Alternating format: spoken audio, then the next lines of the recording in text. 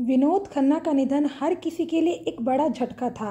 उनकी अचानक हुई मौत उनके परिवार और फैंस को बुरी तरह से तोड़कर रख दिया था। उनकी मौत से पहले ये बात कम लोग ही जानते हैं कि वो कैंसर से जूझ रहे थे। बॉलीवुड के दिग्गज अभिनेता विनोद खन्ना उन सितारों में से एक हैं, जिन्होंने अपने दम पर अपनी पहचान बनाई है।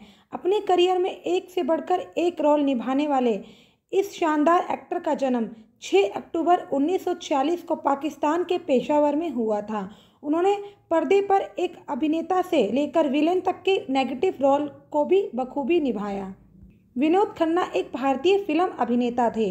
राजनेता से अभिनेता तक का उनका सफ़र काफ़ी शानदार रहा है। विनोद ने गुरदासपुर से सांसद के रूप में कार्य किया। उनका जन्म पंजाबी हिंदू परिवार में कमला और किशन चंद खन्ना के घर पेशावर में हुआ था। उनके जन्म के कुछ समय बाद भारत का विभाजन हो गया और उनका परिवार पेशावर छोड़कर मुंबई आ गया। विनोद खन्ना ने सेंट मैरी स्कूल मुंबई में दूसरी कक्षा तक पढ़ाई की और फिर दिल्ली में रहने लगे। उन्नीस सौ सत्तावन में उनका परिवार दिल्ली चला गया, जहाँ उन्होंने Delhi public school Mathura road में पढ़ाई की। हालाँकि 1960 में उनका परिवार वापस मुंबई आ गया, लेकिन विनोद को नासिक के पास बोर्डिंग स्कूल भेज दिया गया। बोर्डिंग स्कूल में उन्होंने महाकाव्य, सोलवा साल और मुगले आज़म फ़िल्म देखी और उनको मोशन पिक्चर्स के साथ लगाव हो गया। बता दें कि विनोद ने सिडेनहेम कॉलेज, मुंबई से वाणिज्य की उपाधि प्राप्त की। उन्हें क्रिकेट पसंद था। विनोद खन्ना ने साल 1988 में मन का मीत से हिंदी सिनेमा में डेब्यू किया था और खलनायक के रूप में नज़र आए। इस फ़िल्म के बाद वह आन मिलो सजना, पूरब और पश्चिम, मेरा गाँव, मेरा देश, सच्चा, झूठा और मस्ताना जैसी कई फ़िल्मों में नेगेटिव रोल में दिखाई दिए। इसके बाद साल 1971 में हम तुम और वो मैं विनोद खन्ना बतौर मुख्य अभिनेता नज़र आए। इसके बाद उन्होंने कई फ़िल्मों में अभिनय का जादू चलाया और कई सुपरहिट फ़िल्में दी। विनोद खन्ना ने साल उन्नीस सौ बयासी में अपनी फ़िल्म करियर के चरम पर इंडस्ट्री को छोड़कर अध्यात्म की राह को चुना था। उन्होंने अपने आध्यात्मिक गुरु ओशो रजनीश का अनुसरण करने के लिए अस्थायी रूप से फ़िल्म उद्योग छोड़ दिया। करीब पाँच सालों तक उन्होंने खुद को फ़िल्मों से दूर रखा। इसके बाद साल उन्नीस सौ सतासी में उन्होंने वापसी की। वापसी के बाद उन्होंने जुर्म और चांदनी में रोमांटिक भूमिकाएँ निभाई, लेकिन उन्हें ज़्यादातर एक्शन फ़िल्मों में ही भूमिकाएँ ऑफ़र की गई। विनोद खन्ना ने अपने करियर के पीक पर गीतांजलि से शादी की थी। दोनों की पहली मुलाकात थिएटर के दौरान हुई थी। दोनों के दो बच्चे, अक्षय खन्ना और राहुल खन्ना हुए। वहीं साल 1990 में गीतांजलि से उनका तलाक हो गया। इसके बाद उन्होंने कविता से दूसरी शादी की। कविता से उनकी एक बेटी और बेटा हुआ। उन्नीस सौ निन्यानवे में विनोद खन्ना को फ़िल्मों में उनके तीस वर्ष से भी ज़्यादा समय के योगदान के लिए फ़िल्म फेयर के लाइफ टाइम अचीवमेंट अवार्ड से सम्मानित भी किया गया। इसके बाद 2018 में उन्हें मरणोपरांत भारतीय सिनेमा के सर्वोच्च पुरस्कार, दादा साहेब फाल्के पुरस्कार से सम्मानित भी किया गया। पूरी दुनिया में अपनी एक्टिंग का डंका बजाने वाले विनोद खन्ना का निधन ब्लड कैंसर की वजह से हुआ था। उन्होंने काफ़ी समय तक अपनी बीमारी को परिवार से छुपा कर रखा। उन्हें छः साल पहले ही ब्लड कैंसर होने का पता चल गया था, लेकिन वह इसे ठीक करने के लिए कुछ भी नहीं कर पाए। रिपोर्ट्स की माने तो छः साल तक जर्मनी में उनका इलाज चला और सर्जरी भी हुई, लेकिन उन्हें बचाया नहीं जा सका और सत्ताईस अप्रैल दो हज़ार सत्रह में उनका निधन हो गया। विनोद खन्ना का जन्म 6 अक्टूबर 1946 को पेशावर में हुआ। उनके पिता का टेक्सटाइल, डाई और केमिकल का बिज़नेस था। विनोद खन्ना पाँच भाई बहनों में से एक थे। उनके एक भाई और तीन बहनें हैं। आज़ादी के समय हुए बंटवारे के बाद उनका परिवार पाकिस्तान से मुंबई आकर बस गया। विनोद बचपन में बेहद शर्मीले थे। स्कूल के दौरान उन्हें एक टीचर ने ज़बरदस्ती नाटक में उतार दिया और उन्हें अभिनय की कला पसंद आई। बोर्डिंग स्कूल में पढ़ाई के दौरान विनोद खन्ना ने सोलवा साल और मुगले आज़म जैसी फ़िल्में देखी। इन फ़िल्मों का उन पर गहरा असर पड़ा। विनोद खन्ना के पिता नहीं चाहते थे कि उनका बेटा फ़िल्मों में जाए। विनोद की जिद के आगे वे झुके और उन्होंने दो साल का समय विनोद को दिया। विनोद ने इन विनोद ने इन दो सालों में मेहनत कर फ़िल्म इंडस्ट्री में जगह बना ली। राजेश खन्ना को विनोद बेहद पसंद करते थे। हैंडसम विनोद को सुनील दत्त ने मन का मीत उन्नीस सौ अड़सठ में विलन के रूप में लॉन्च किया। यह फ़िल्म दत्त ने अपने भाई को बतौर हीरो लॉन्च करने के लिए बनाई थी। वह तो पीछे रह गए, लेकिन विनोद की चल निकली। हीरो के रूप में स्थापित होने के पहले विनोद ने आन मिलो सजना, पूरम और पश्चिम सच्चा झूठा जैसी फ़िल्मों में सहायक और खलनायक के रूप में काम किया।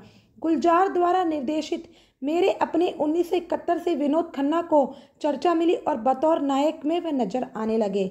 मल्टी स्टार फ़िल्मों से विनोद को कभी परहेज नहीं रहा। वे उस दौर के स्टार्स अमिताभ बच्चन, राजेश खन्ना, सुनील दत्त आदि के साथ फ़िल्में करते रहे। अमिताभ बच्चन और विनोद खन्ना की जोड़ी को दर्शकों ने काफ़ी पसंद किया। हेरा फेरी, खून पसीना, अमर अकबर, एंथनी मुकद्दर का सिकंदर ब्लॉकबस्टर साबित हुई। सफलता के शिखर पर रहते हुए उन्नीस सौ बयासी में विनोद खन्ना ने अचानक ऐसा फैसला लिया कि फ़िल्म इंडस्ट्री में हड़कम मच गया। विनोद अपने आध्यात्मिक गुरु रजनीश ओशो की शरण में चले गए और ग्लैमर की दुनिया को उन्होंने बाय बाय कह दिया। ओशो के आश्रम में इस सुपरस्टार ने बर्तन धोने और मालिक का काम किया। विनोद के अचानक इस तरह से चले जाने के कारण उनकी पत्नी गीतांजलि नाराज़ हुई और दोनों के बीच तलाक हो गया।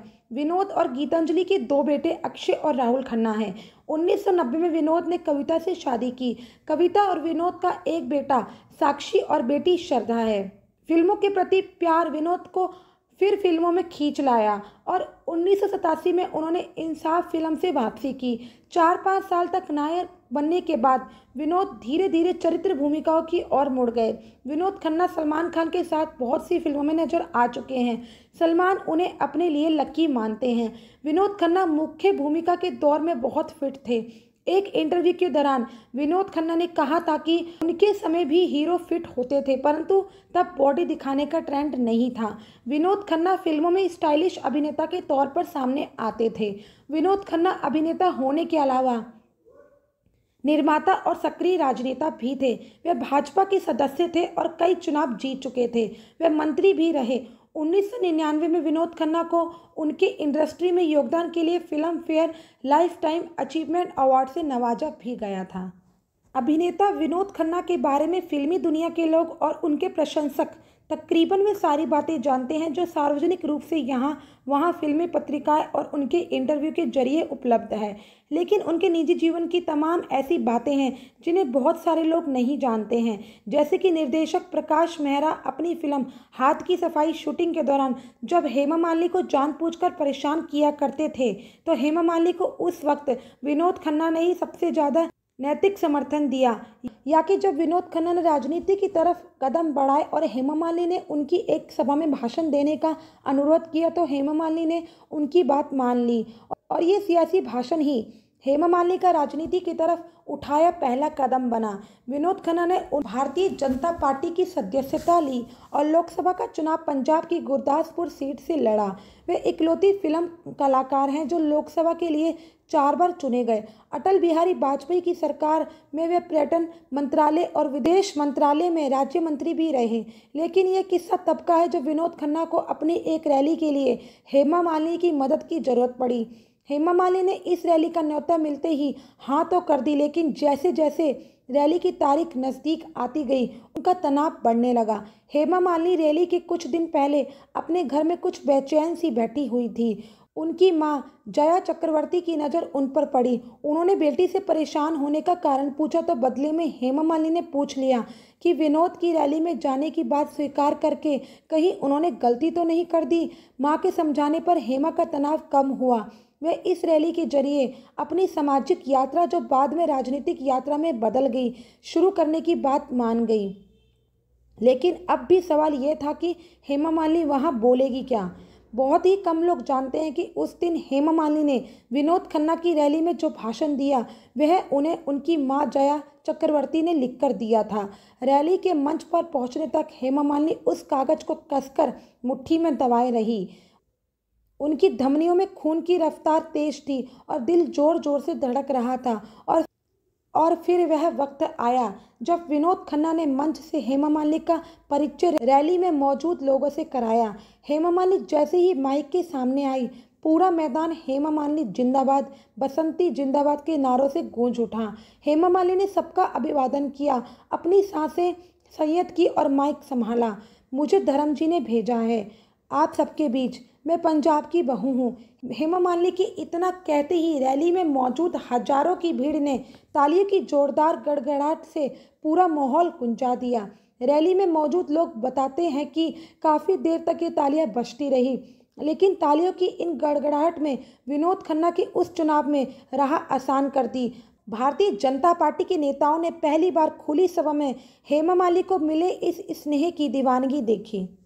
अमृता सिंह का नाम ना सिर्फ़ अपनी बेहतरीन फ़िल्मों, बल्कि पर्सनल लाइफ के लिए भी जाना जाता है। मीडिया रिपोर्ट्स की माने तो सैफ अली खान से शादी करने से पहले अमृता सिंह दो सेलिब्रिटीज़ के साथ सीरियस रिलेशनशिप में रह चुकी हैं। यहाँ तक कि बात शादी तक पहुँच चुकी थी, लेकिन एन मौके पर सब कुछ बदल गया। खबरों के अनुसार अमृता सिंह का नाम एक समय इंडियन क्रिकेटर रवि शास्त्री के साथ जुड़ चुका है। रवि और अमृता काफ़ी सीरियस रिलेशन में थे। और शादी भी करना चाहते थे। हालाँकि क्रिकेटर नहीं चाहते थे कि शादी के बाद अमृता सिंह फ़िल्मों में काम करें और यह बात अमृता को मंजूर नहीं थी। नतीजा इनकी शादी होती और उससे पहले ही ब्रेकअप हो गया। मीडिया रिपोर्ट्स की माने तो इसके बाद अमृता सिंह की लाइफ में एंट्री हुई एक्टर विनोद खन्ना की। कहते हैं, दोनों के बीच फ़िल्म बंटवारा की शूटिंग के दौरान नज़दीकियाँ बढ़ी थी। जल्द ही अमृता और विनोद खन्ना के बीच की नज़दीकियों के किस्से आम हो गए। असल में विनोद खन्ना शादीशुदा थे और उम्र में अमृता सिंह से बड़े थे। यही नहीं। खबरों की माने तो अमृता सिंह की माँ भी नहीं चाहती थी कि उनकी बेटी यह शादी करे। कहा तो यह भी जाता है कि अमृता की माँ ने अपने पॉलिटिकल कनेक्शन का इस्तेमाल करते हुए बेटी से दूर रहने के लिए भी कहा था। साल उन्नीस सौ इक्यानवे में अमृता सिंह ने अपने उम्र से 12 साल छोटे सैफ अली खान से शादी कर ली थी। इस शादी से अमृता सिंह और सैफ के घर दो बच्चे, सारा और इब्राहिम का जन्म हुआ था। बॉलीवुड एक्टर विनोद खन्ना के साथ रोमांटिक सीन करने से अदाकाराएँ डरती थी। इसके पीछे वजह थी इंटीमेट सीन के वक्त उनका बेकाबू हो जाना। टिम्पल कबाड़िया से लेकर माधुरी दीक्षित तक के साथ वे बेकाबू हो गए थे। महेश भट्ट के निर्देशन में बनी फ़िल्म मार्ग में विनोद खन्ना और डिम्पल के बीच एक किसिंग सीन था, जिसमें विनोद खन्ना डायरेक्टर के कट होने के बाद भी लगातार डिम्पल कबाड़िया को किस करते रहे थे। फ़िल्म मार्ग की शूटिंग 1988 में हुई थी और विनोद खन्ना के साथ डिम्पल कबाड़िया एवं हेमा मालिनी लीड रोल में थे। विनोद खन्ना उस समय सुपरस्टार थे और और हर डायरेक्टर उनके साथ काम करना चाहता था। यह सीन रात के वक्त शूट हो रहा था। सेट की लाइट भी काफ़ी डिम थी। महेश भट्ट ने एक्शन बोला और विनोद डिम्पल को किस और हक करने लगे। कुछ देर बाद महेश भट्ट ने कट बोला, लेकिन विनोद खन्ना डिम्पल को लगातार किस करते रहे। डिम्पल काफ़ी डर गई और उन्होंने जैसे तैसे खुद को विनोद से छुड़ाया। वह भागकर मेकअप रूप में चली गई। इसके बाद डिम्पल काफ़ी नाराज़ हुई। तब महेश भट्ट ने उनसे माफ़ी मांगी और सफ़ाई दी कि विनोद नशे में थे। यह फ़िल्म चार साल बाद प्रेम धर्म के नाम से रिलीज़ हुई। आपको बता दें कि इस फ़िल्म के बाद भी डिम्पल ने विनोद खन्ना के साथ कई फ़िल्मों में काम किया था। डिम्पल के साथ हुई घटना के बाद भी विनोद खन्ना ने सबक नहीं लिया। आपको बता दें कि इस फ़िल्म के बाद भी डिम्पल ने विनोद खन्ना के साथ कई फ़िल्मों में काम किया था। डिम्पल के साथ हुई घटना के बाद भी विनोद खन्ना ने सबक नहीं लिया और ऐसी ही हरकत फिर कर बैठे।